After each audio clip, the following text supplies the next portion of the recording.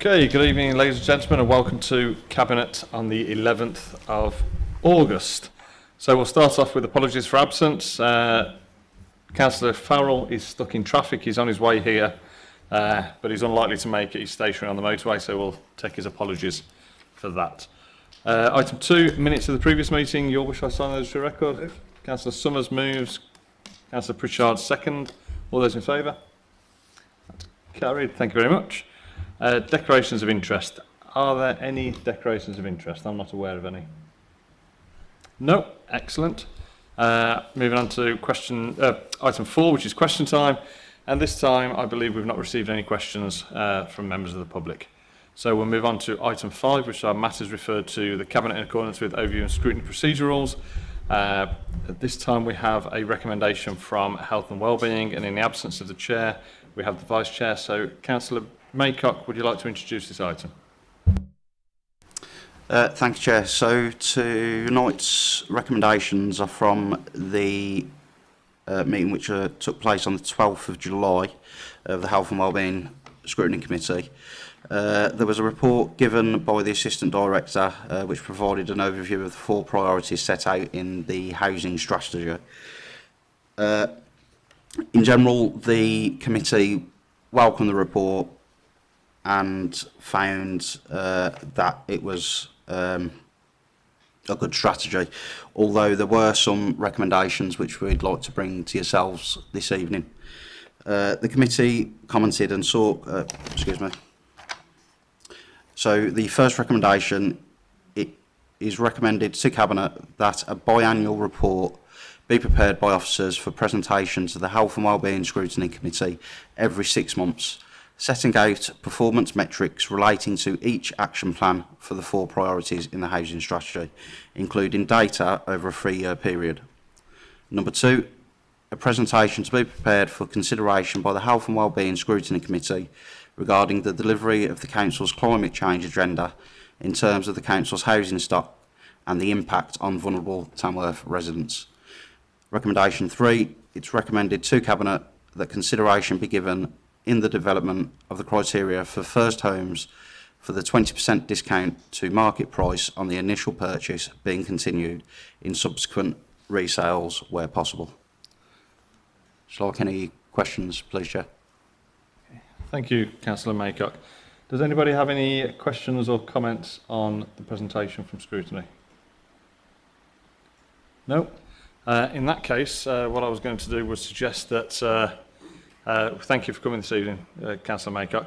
Uh, suggest that with regards recommendation one, uh, what we actually do is, uh, is, is agree to that uh, and report back. Uh, rather than twice a year, uh, we can report back four times a year on that one.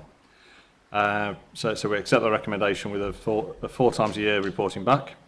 Um, in terms of uh, recommendation two, a presentation be prepared for consideration for uh, for the health and wellbeing scrutiny regarding the delivery of the council's climate change agenda.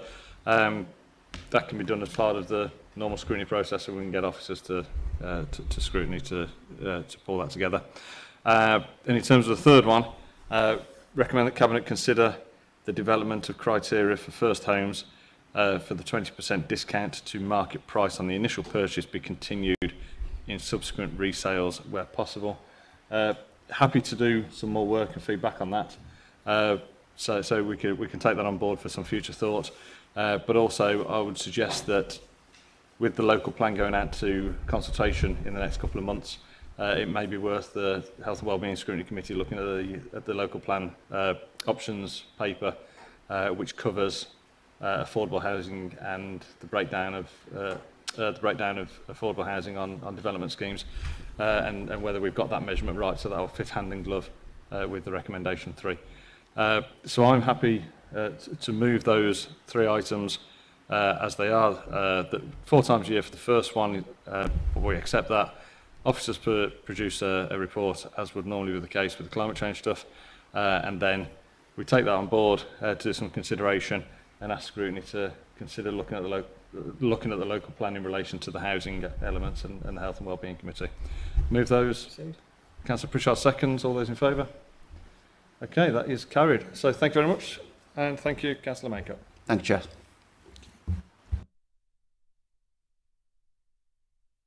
And we'd like to welcome Councillor Farrell to the meeting. Apologies about the shorts, and apologies for being late. One of those days. Sorry, Chair, I'm afraid to go. Uh, yes, you are free to go, Councillor Maycock. Yes. I'm not sure why you look so pleased that you can go. Okay, so moving on to agenda item six, and this is the application for an increase in the prescribed Hackney carriage fares rates. Councillor Summers. Thank you. Um, of course, as, usual, most of the detail is in the report on, on specific tariff increases, but uh, essentially Tamworth Hackney Carriage and Private Hire Association, of which I believe uh, over half of the uh, Hackneys uh, in Tamworth are, are members of, have applied for an increase in the prescribed Hackney carriage fare rates as detailed in Appendix 1. And they haven't had an increase since December 2017. So, as you can imagine, uh, prices of uh, fuels uh, are going up uh, exponentially uh, since then and due to go up even more. They are on a bit of a downward trend, but still, um, since 2017, uh, quite a quite a bit more than they were. So um, it, it is essentially uh, them asking for an increase. Uh, it has been through the licensing committee, um, who have uh, passed it on to us, having scrutinised it. Uh, if there are any particular questions, happy to take them, but also Wendy Smith, Head of Environmental Health, is here as well to rescue me should I not know the answers. so um, over to my colleagues for questions, if there are any. Thank you, Councillor Summers. Does anybody have any questions on the report? No, there are no questions, Councillor Summers. So would you like to move the recommendation? Oh, sorry, uh, Uh, Councillor Doyle. Not so much a question, but a comment. Um, given the recent financial issues that we see ourselves faced with, I can't see how we could reject this. And it's unfortunate on residents who will have to pay the difference, but unfortunately the taxi drivers have to put fuel in the car and insure the vehicles and that. So I'm all in favour of this one.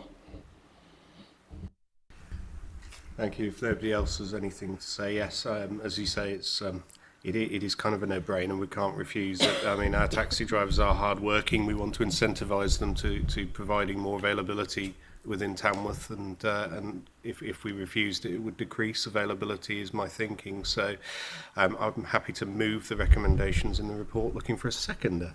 Second. You already have. I haven't moved them yet, but thank you.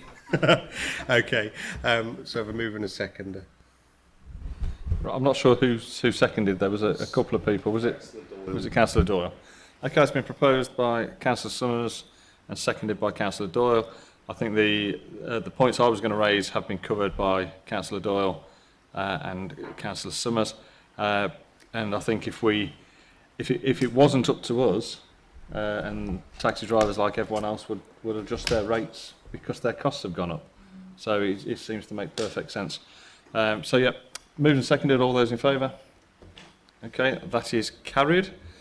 So that concludes the business this evening. So thank you everybody for your input and I wish you a safe and cool journey home. Thank you.